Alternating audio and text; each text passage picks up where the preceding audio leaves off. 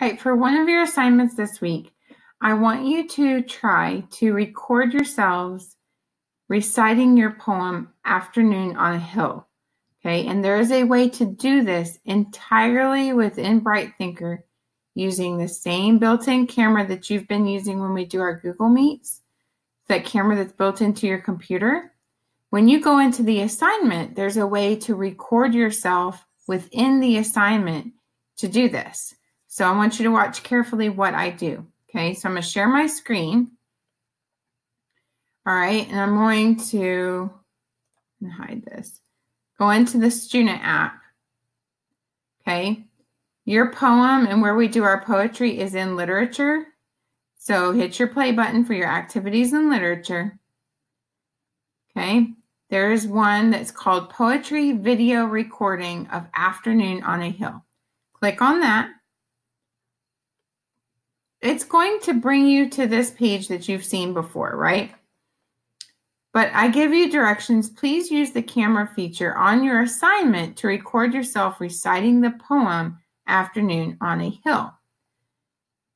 Normally, what you do when you submit something this way, I've told you to hit this plus sign and then attach a file, right? You're not going to do that this time. Do you see where it says add your comments here? Okay, you're going to click there. When you click inside that box, a whole series of things pops up within that box. If you notice all the way over on the right, here's YouTube video. You don't want that. See this little video camera looking thing? That is to insert a video. So you're going to click on that and it's going to pop up this box. Okay. And you're going to say that, yes, you want to record a video. When you are ready, now I can't show you what this will look like entirely because I'm using my camera right now to video myself making this tutorial. Okay, now I have two videos. So normally when you are looking at it, you would see your face right there. Okay.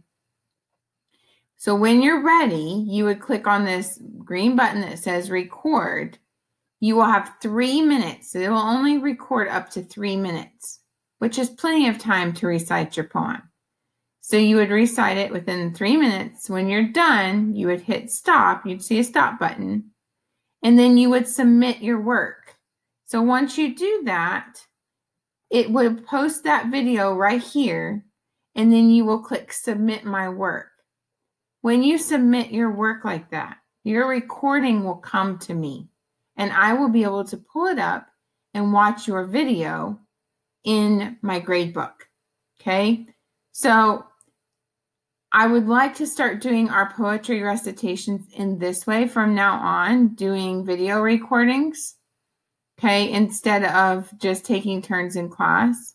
We still may do one or two where we do it in class, but because there's so many of you, reciting them when we only have two hours live is really difficult. So again, you're going to, I'll walk you back through this one more time. You're on your main home screen. Go to literature. Click the play button. Go all the way down. These are all your assignments. Click poetry video recording of Afternoon on a Hill and push your play button. Bring up this and it'll tell you use the camera feature on your assignment to record yourself reciting the poem. So you're going to click add your comments here. Just click in this box. And remember all these things pop up. And one of them looks like a camera. You press that to insert a video. Then you press record. It will record you making your video and you will just say Afternoon on a Hill by Edna St. Vincent Millay, and you will continue to recite that and you end it with the same title and author, and then submit your assignment.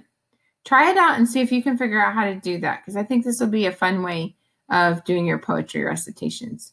If you mess up, guess what? Hit cancel and do it again, and that's okay. Pick your best one and then submit it. All right, I hope that helps. Give it a try. I can't wait to see your videos.